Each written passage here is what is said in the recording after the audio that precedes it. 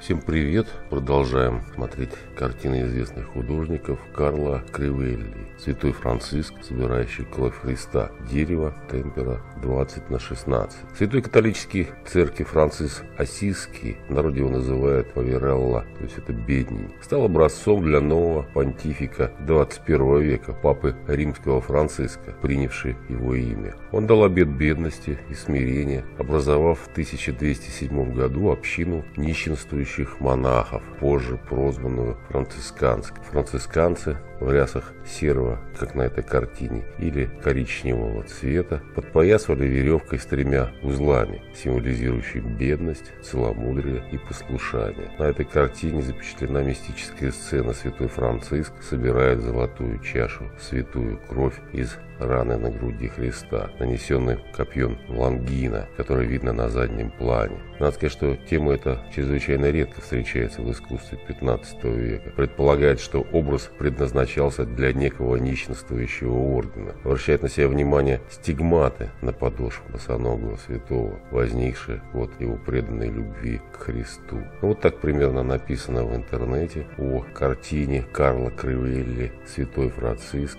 собирающий кровь Христа». Пока-пока, до свидания, всего хорошего, узнали что новое.